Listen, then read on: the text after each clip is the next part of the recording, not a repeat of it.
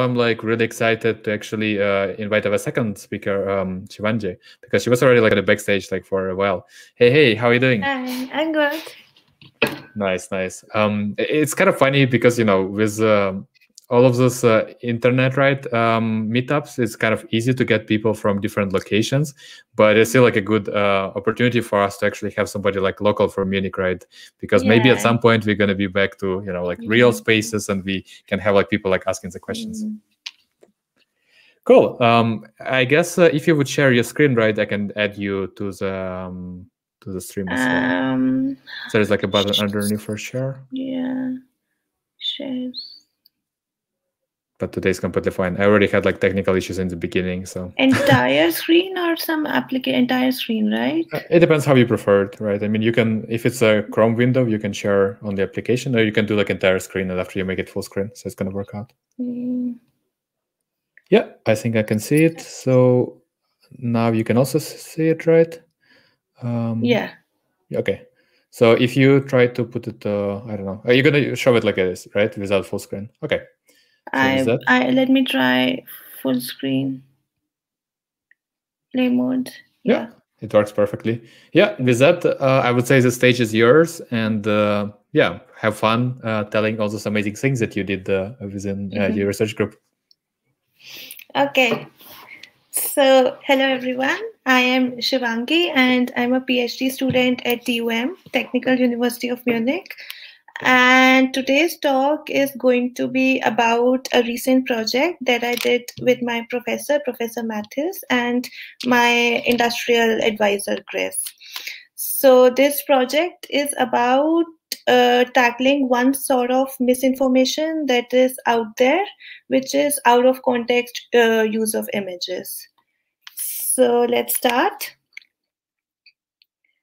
Um, so when we talk about face, fake images, uh, especially on social media, there are uh, basically two uh, main categories. So first is like uh, image tampering, and uh, an example uh, is shown in this image on the left and here what you see is what people do is they play around with parts and regions in the image to convey a different message or misrepresent the person. So for example in this image the original image was of a student holding a black lives matter banner but it was tampered such that it says lincoln was racist. So this is one form of misinformation uh, that is uh, this is one form of image misuse that is used to spread misinformation. And the second form is uh, where people do not uh, tamper or play around with the images. But what they do is they share this uh, image with a claim which is uh, not at all related to it so for example uh, in this image on the right you see that uh, there's a person burning a flag and the original image was uh, from 2016 during some anti-trump riots and this was uh, shared in 2018 uh, with a claim that says that people in migrant caravan burned american flag. So um, this uh, is also a, a form of uh, sort of misuse of images that people use to spread misinformation.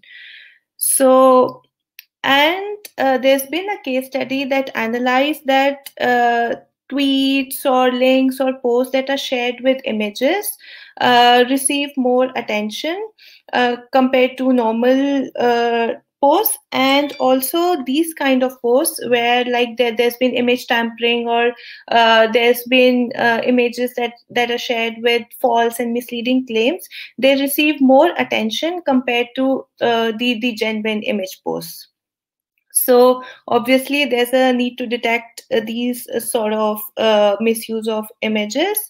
Um, and there are already uh, a lot of methods uh, that basically handle image tampering and um, uh, where they, they sort of detect which region in the image is manipulated and stuff. So with this project, what we are trying to do is we are basically um, trying to cater the, the second misuse of images where the images are legit but they're shared with false and misleading claims. Um, so yeah, this project is about or out of context image use where the images are basically genuine and they're shared in false or misleading context. Um, so as an example uh, is, is this image. So this is an image of Obama from 2014. And uh, this image uh, was shared uh, with a text that said that President Obama is in uh, Maryland to learn something about Ebola vaccine. And after the outbreak of COVID, this same image was reshared on Facebook with the claim that uh, that this person, Obama, is in Wuhan uh, for uh, some bad project. So this is basically the out of context use of images. And with this project, this is what we're trying to det uh, detect.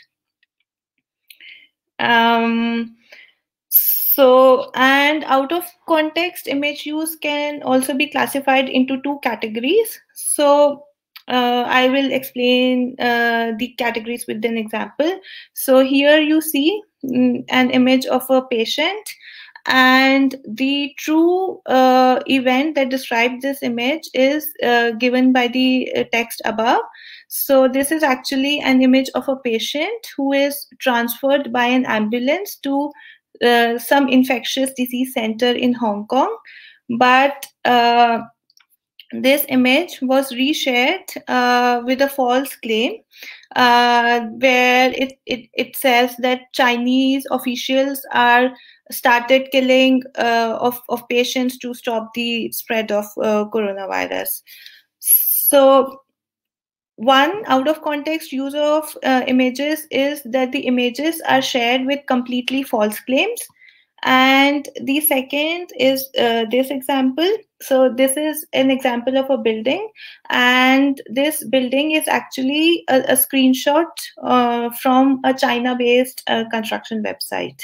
And this image was reused to spread uh, one uh, misinformation that the, that this image is basically of a hospital in Wuhan that was constructed in a few hours after the outbreak of this new strain.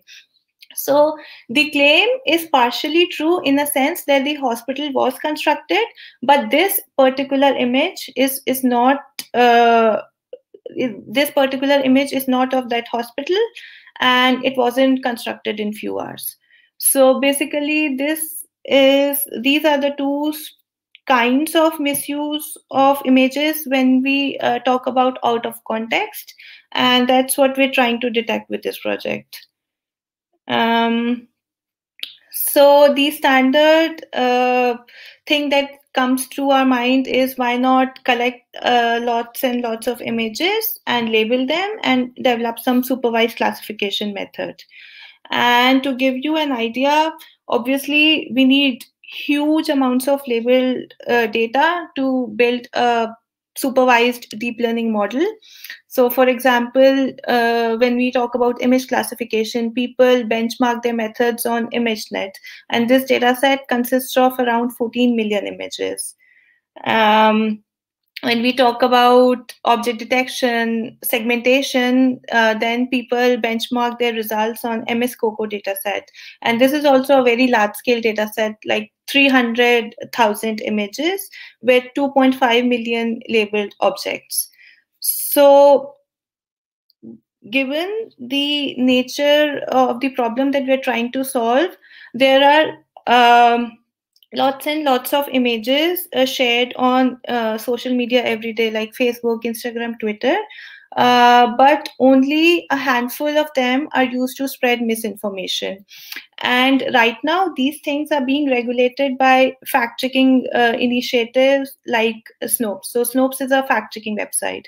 So, and they basically look at each and every post and um, label them whether it's a, it's true or whether it's false.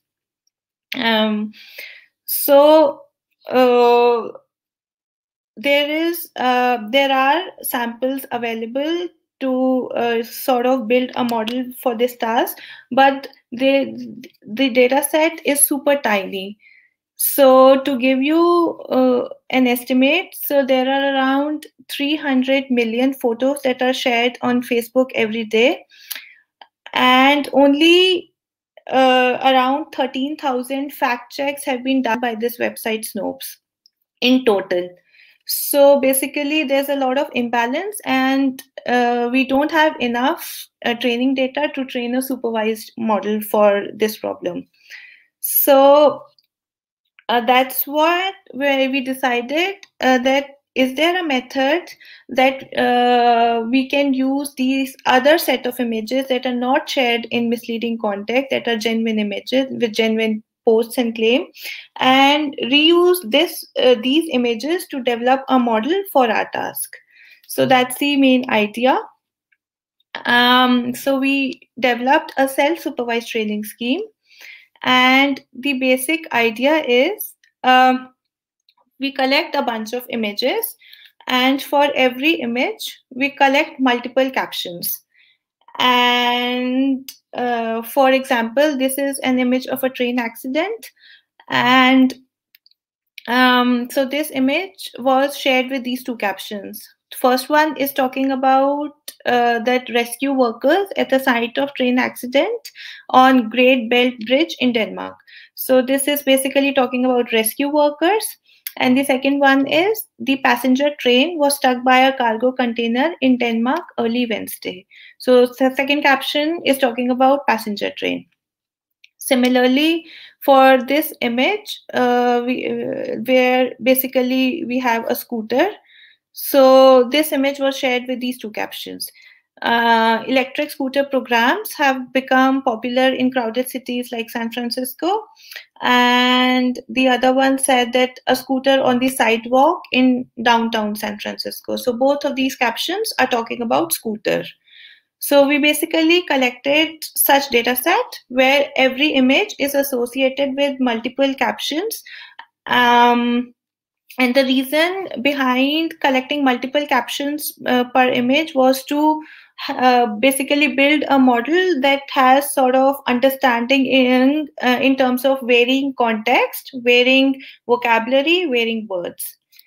Um, and then what we did is so basically the top two captions that appeared uh, with the image uh, on the left which is of train accident are supposed to be positively correlated and the bottom two captions which uh, which are about scooter are supposed to be positively correlated with the scooter image.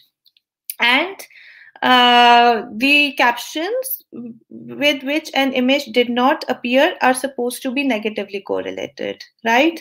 So basically this is an image of train accident and rescue workers are, are present in this image and passenger train is present in this image. So we need to build a model that is basically able to identify these sort of objects in the image.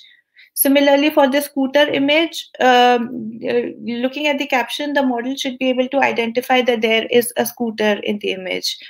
And uh, i would say that this is uh, like a challenging task compared to like standard image captioning models because there is a lot of information in the caption but uh, it is not really useful for basically identifying the objects in the image so the news captions or in the wild uh, you know sort of posts on twitter facebook and, and and media and stuff are very different from standard image captioning models that are used in machine learning um, and the reason why we're learning this association is I will explain it later. So this association would later be used to detect out of context use of images. So once we train, so sorry. So first we collected a large scale data set for the task. Uh, as I said, like for every image, uh, what we uh, did is we basically collected a lot of images and then we used Cloud Vision API to do reverse image search for this image. And then we collected multiple captions corresponding to the same image on different different websites. So uh, in this example, this is an image of showing buses. and this was fact checked by Snopes uh, that uh, the which basically said that these are the buses purchased by Black Lives Matter to transport member to riots, and um, this image was uh, shared on this website Daily Hive with a caption that NBA champion arrived at Disney campus. Buses were wrapped with Black Lives Matter. And this image was also shared on this website CBC, where it said that Toronto Raptors roll into NBA bubble in the Black Lives Matter buses. Um, so this is how we collected multiple captions per image. Um, and we basically collected images uh, especially for the topics and keywords where there's a lot of misinformation for example when we talk about um, elections and environment and i know politics and racism. So these are basically some of the areas where there's been a lot of misinformation, a lot of uh, out of context use of images. So we basically focused on uh, these particular uh, segments and um, we collected around 200,000 images for training and then we benchmarked our results on uh, around 2000 images so um, for training, uh, we did not use any uh, labeled annotations. We only use these annotations for our validation set, uh, for only for benchmarking, only for comparing. Um, and for training, basically every image can have variable number of uh, captions. So one, image can have two captions, three captions, four captions. But for validation, we ensure that every image has two captions. Um, and then there's a reason which I'll explain later. Um, so this is how we do our training. So basically for training, we uh, take the image and two captions. Uh, we call them matching caption and a non-matching caption. So matching caption is basically the caption that occurred with this image and non-matching caption is simply a random caption from our dataset.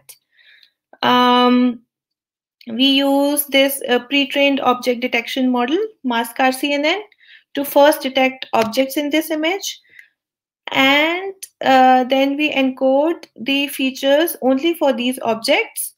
And we uh, basically generate 300 dimensional embedding for each of these uh, objects. And then what we do is to encode the textual captions we use uh, use embedder so use is universal sentence embedder this is basically a pre-trained text embedder and is expected to perform really well on um, out of vocabulary words and news articles uh, text. So we use this and then we have like a simple text encoder which is a fully connected layer. And uh, we generate 300 dimensional embedding for each of these texts. And then now that we have uh, same dimension for uh, objects and for text what we do is we basically combine them. And the way we combine them is with a dot product. Um, and this dot product basically gives us caption object scores. And uh, once we have these caption object scores we then apply a max operator to obtain image caption scores. So basically identify which object is most important for the uh, image uh, corresponding to a given caption. So that's what these scores tell us. And then we train it with the simple max margin loss, where we ensure that the score for the matching caption should be higher compared to the score for the random caption. Um, and let's see how the results look like so once we train once we've trained this model um, we expect the model to assign high scores to the objects of interest and low scores that are to the objects that are not at all related to it. So I have the same example from the previous slides, uh, which is like of this train accident and the scooter image. So let's look at this train example first. So these were the uh, top three objects detected by the model. And um, a positive score is given by the model for the train, which is the accident. And um, negative score is given to this helicopter and to this person. Uh, and obviously, uh, if you look at the top caption, uh, it is talking about the rescue workers at a site of train accident but uh, it has given a negative score to this person so which is like technically it, it, it is wrong but um, it's it's uh, sort of like a very difficult keyword for the model model to comprehend because it is talking about rescue workers. And had it been maybe a simple word like person or something maybe the model would have been able to identify it um, and the second image is of scooter. So here we have the scooter the legs of the person the handbag and this pole. Um, and both of these captions uh, as we've seen before are talking about uh, scooter. So in this case the model was able to give a positive score to the scooter and negative score to the other objects. Um, and here we have some more examples. So uh, uh, in the previous slide, I showed an. The I showed the image with two captions, and both of those captions were basically correct. And now in this slide, the captions that you see in the green are true captions, and the captions that you see in the red are basically the false captions. So the first uh, image is of like two girls crying. And the original uh, caption was that the residents cry outside a reunification center after deadly shooting. And the second caption is uh, also talking about these people. So where it says that the immigration authorities were checking citizenship papers of people affected by mass shooting in el paso uh, so first one is uh, being addressed to residents, which is also these people, and the second one is addressed to people, which is these two uh, girls standing. And um, these are like few of the top objects detected uh, by the model. Uh, like there are cars in the background, and then there's this, this person detected. Um, and the model was able to give a positive score to the persons and a negative score to the cars in the background. Um, similarly, for uh, this image, a patient transferred to uh, this infectious disease center in Hong Kong, also talking about patient. And then Chinese officials are started killing uh, patients to stop spread of uh, virus. It's also talking about patients. So these are the top objects uh, detected. And the model is able to give a positive score to this uh, person lying on bed and that the person who's taking him to the wherever. And a negative score to the other objects such as this chair and this handbag and others. So uh, we were uh, so with the training strategy that I explained in the previous slide, we were able to build like uh, a decent model that is uh, able to correctly identify the relevant objects in the image. Um, and then once we identify the important objects, then at test time what we do is uh, we basically uh, so most of the out of context use of images uh, uh, always talks about the same object in the image. So um, for example in this image so this is an image of uh, buses and the fake or the untrue uh, text was uh, that the buses purchased by Black Lives Matter to transport members to riots. And this is talking about buses, although this is a false claim. And the second uh, text says that the Toronto Raptors roll into NBA bubble in Black Lives Matter buses. And this one is also talking about buses, but uh, this is saying something different, and this is a true claim. Um, so what we do is we basically take this image and both of these captions to uh, and feed them to our model, and we detect out of context image use. Um, and how we do it, we follow the same guideline. We take the image, we detect the objects in the image, and then we take both of these matching captions. So basically, as I said, that the, the first matching caption is false and the second matching caption is true. Um, and then what we do is we basically feed uh, them to our train model and uh, we then identify top objects for both the captions um, and these are basically the most relevant objects uh, for caption one so the most relevant objects for caption one are shown uh, in this uh, red box and the most relevant objects for caption two are shown in this green box. And then what we do is we take an additional pre-trained model to compute sentence similarity or sentence semantics and then then what we see is if both of these texts are semantically different and they convey different messages but what they do is they basically identify same objects in the image. Then we say oh this is out of context use of images. And otherwise we say that this is not out of context. So this is the main idea uh, for the method. And uh, we basically evaluated this method for different text embeddings. Um, so we used GloVe, Fast, uh, uh, uh, Fast Text, and uh, use embeddings.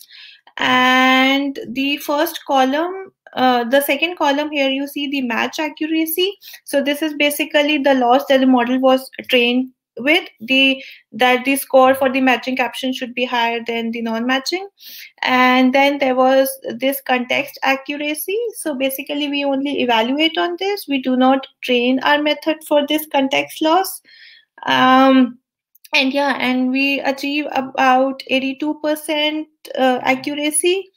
And here k equals to 1 2 3 basically identifies that are we talking about top one object top two objects or top three objects? So the more objects you consider the more uh, sort of liberty you give the model to make a mistake. Uh, and your performance also sort of um, uh, increases because there is more possibility to sort of have the same object in the grounding. And then we also did one more experiment where we basically evaluated the effect of data set size. And we know that for supervised methods the bigger models and bigger data sets help. But we wanted to check for this particular use case as well and we noticed that having a bit bigger data set also helps us improve our model. So using 100% of our data we got around 73% accuracy whereas using only 10% of our data we got around 67% um, and then we also compared our method with other uh, rumor and uh, fake news detection methods. And uh, our method is uh, relatively better. And the main reason that this that this approach stands out from the other method is basically we're using objects and rest of them are operating on full images. So the, the detecting objects uh, basically helps uh, the model to focus only on the important parts in the image um, so mm, uh, this this this is the story so far. I mean, we're around 82% accuracy, but obviously this is not deployable. No one is can can use this to in real time to de detect these misuses. So obviously, one thing uh, that I realized from this project that uh, visual grounding is a challenging task for especially for news captions so an example, uh, this is an image of a metro and the caption that this image was shared with was that LA Metro Ride offers a small portrait of this sprawling city. And this is not directly describing the objects in the image. Uh, for example, uh, the model needs to uh, understand that the metro uh, is a synonym for the word train and um, and identify and ground this object. So this is like a very easy task for humans, but for models, it, this is like a very challenging task. Um, and uh, so and so the model was able to detect like the correct object uh, in this case but yeah it, it, it is difficult uh, for models to basically find out relevant objects from these captions. And the second thing is uh, we obviously need a self-supervised method uh, because uh, the supervised data set is very tiny especially for this problem that is basically publicly available. So yeah we have very limited number of images that are fact checked and right now i'm using them in my validation set just to evaluate the performance of the model and i'm not training on these few images. Um, and one thing that we used during our model is uh, basically uh, mask RCNN to detect objects in the image although it was able to detect these cars in the background uh, but the second person uh, who is very clear to us the model missed detecting the, the this person. And so um, and so uh, using these pre-trained models uh, sometimes miss to detect these objects and therefore obviously we need to sort of use like an ensembling technique with a variety of models or um, come up with something else uh, so that the relevant objects are not missed. Um, second thing is uh, that during training we uh, during test time we were using this uh, sentence similarity model which is sentence BERT and which is shown in this pink color on the right. And this is also a model that computes the similarity between the two texts. Although uh, it is useful, but this is also uh, a model. We cannot uh, get performance beyond whatever this model gives us um, because we are using uh, the prediction made by this model as sort of like gold standard. So yeah, so we need to remove uh, this and come up with something automatic that does this task in the future. Um, and right now we're taking an image and two captions and letting the model predict whether uh, this is an out of context use or not but what we can do in the future is like identify which of the two captions is basically false so that would be actually interesting and that would help the people to use uh, this in real time. Um, so to summarize, uh, in this project, we basically proposed a new task of detecting out of context use of images. Um, we created a large scale data set for benchmarking. Um, and we proposed a new self-supervised learning scheme to detect out-of-context use of images. Um, that's that's mostly from my side, and I would like to thank my advisors and others who basically helped me through in and throughout this project. So that's it from my side. If you have any questions. Yeah, thank you for amazing presentation and also for providing or building up this like a data set, right? And uh, mm-hmm. forming like a new task, right? Now I guess like it's uh, you know like with machine learning, as you already said in the beginning, if there is like no data, right? If there is like no ImageNet competition, it's like hard to make any progress, right? Because it's just like uh, yeah. bouncing your ideas, right? so hopefully like now it's easier um so there were like some questions but while people see writings and since we like with youtube stream is a bit like in the future i will ask uh-huh. a couple like from my side um mm-hmm. I'm, I'm not sure if you're aware so like openai has this like a clip model right when they were like training um transformers like on text but also like on images right so you know it's going to get basically different part of the image like uh, through transformer right and it's going to be uh, having like self attention as well so mm-hmm. i was wondering if you did try to use something like as OpenAI's Clip, right? Because it also would allow no, you. So this was hmm? like a very basic project. So most of this time, most of my time for this project was specially focused on formulating the problem like mm-hmm. I, what kind of uh, thing do you want to address which is like this out of context use and stuff like this? Because there, there's nothing out there uh, right now that detects these uses. And the second main effort that we spent was basically on collecting this data set. So like what kind of images you need or where do you collect data from? So algorithmic improvement yes this is up for future work and that's what we're working right now uh, but yeah, I haven't tried this uh, clip idea uh, or self attention or anything fancy. So this is right now. It's a very simple, basic model. Okay, makes sense. Makes sense. Yeah. Because like first you need to collect a data set, and only after it's yeah. kind of becoming a bigger thing. Yeah, yeah exactly. Yeah, makes sense. Um, so there is like another question from um, I guess I can pronounce it as uh, uh, Roscoe, right? And uh, he's asking basic. I mean, that was like a question about before a comment from his side. More, hey, uh, is it like a context, right? Or you just like uh, do a binary classification of uh, positive, like a negative, like a sentiment, right, in the caption?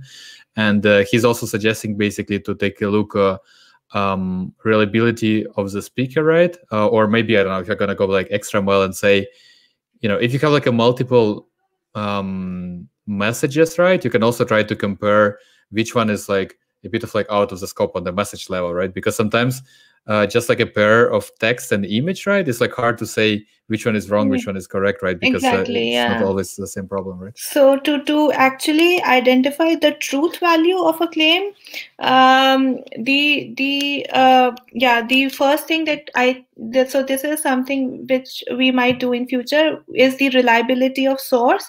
Where uh, is this caption or information coming from is this a reliable source or not mm. and um, the second thing would be like to take into consideration timeline how old is the image and how recent is the text so if if obviously the image is like 10 20 years uh, before is taken 10 20 years before and the caption mm. or the post is like i don't know like last month then obviously there's a strong signal that uh, is it, it's out of context or it's some false claim so yeah these are the things out there and the we are not identifying whether it, we are not doing sentiment analysis in any case mm. we are hmm. not saying whether that that this is a positive or this is a negative sentence no that is not what we are doing what we are doing is we take an image and uh, we basically have two captions and we identify whether uh, these two captions uh, one of the two one of these two captions is out of context with respect to image mm. so that that is the main task that we're trying to so the, the formulation is a bit different from standard machine learning tasks that basically you see out there you take an image and you take two text and you mm. identify whether it's out of these two captions are out of context with respect to this image yeah, exactly. I was about yeah. to say, right, that uh, it's not really sentiment analysis just for yeah. the text, right? But with respect to the image, right? Hey, is exactly. it like, does it correlate, right? Or is it like negatively it's... correlates, basically? Exactly. Mm.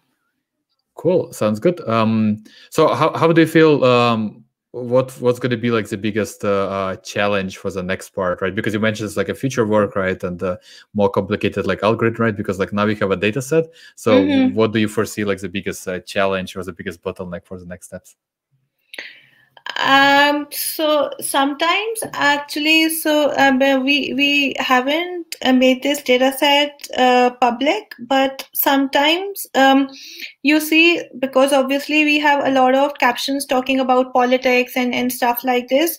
Mm-hmm. so this uh, this depends uh, a lot on the timeline from where you collected this data set. So mm-hmm uh, when I started collecting this data set, I collected basically images from past two or three years. So for the, the this uh, subject politics, I had a lot of text that talked only about Trump, Trump, Trump, Trump, Trump. President mm-hmm. Trump did this, President Trump did that, and then i realized oh this is this is problematic because this is going to overfit only for for this person mm-hmm. so one of the major challenge was to collect a data set that is diverse enough that spans through a variety of topics and that spans through a variety of identities and people so mm-hmm. obviously um uh, this so first thing is, was this and so we basically said let's not collect images for four years let's collect images for 10 years so that mm. we hmm. have like a wide variety of